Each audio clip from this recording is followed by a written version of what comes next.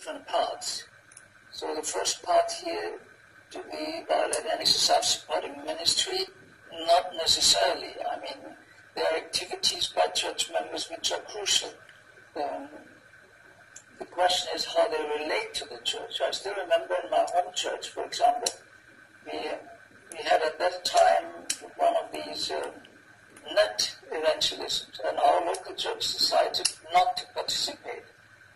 Was a physician with his family, they said, we will do that.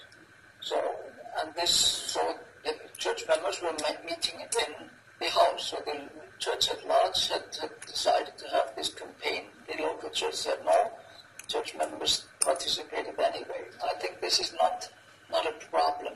But the problem is, um, you see, within the, within the structure of the Adventist church, there is a certain, uh, on a local level, but also within the administrative level, there is a certain, a certain extent of control which is necessary. What you can find also in the New Testament. Not all things go.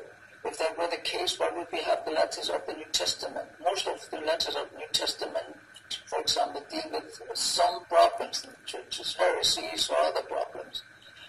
Um, so, um, if we have a self-supporting ministry and is supportive of the church and willing to go with the church and the church recognizes them, I, these ministries, I have not a problem with that.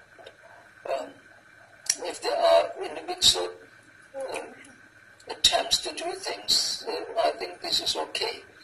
It becomes more problematic, I think, if we say we are not we are distancing ourselves from the conference, for example, and try to go with the union or the division. Um, now, why we don't prescribe that precisely? Um, I give you an example.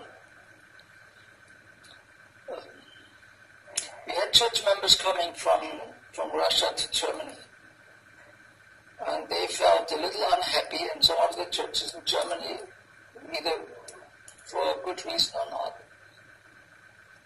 But so they came to Germany, lived there, and they gave their tithe back to the to the division, which which covers the territory of of, of former Soviet Union.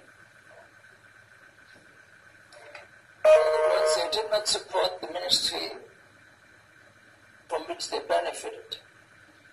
On the other hand, the division there did not know what to do. They said, we cannot, on one hand, we have to accept that. On the other hand, we feel awkward to keep the tithe, which does not belong to us. It should belong to that territory. Because it's needed in that territory. It's not needed in our place so much. Yeah? And I think we have to, this is a very delicate issue. Um, so it's difficult to tell, but but uh, as a church entity, as a local church, I would not want to be independent of the conference. And I don't know if the union would be happy to have a local church directly being attached to, to the union if there is a conference. I mean, you have union conference, I mean, you have unions which are unions of churches, but you're not talking about that.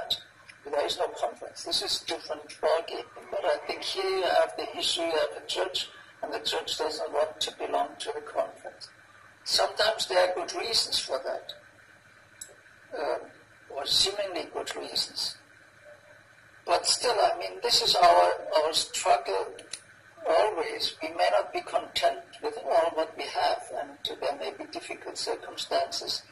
And sometimes as a pastor, I had to be in difficult churches. I could not just stay. I'm, I'm just using, trying to have the best churches. So I had, had to, to go through that process. And sometimes such a process is help, helpful for ourselves, but also for the others. So therefore, I would be a little hesitant when it comes to the second part, not so much with the first part of the question. Okay. Thank you so much we have uh, uh, maybe we'll give five more minutes because we have many questions coming in, but at least a few of them we can entertain.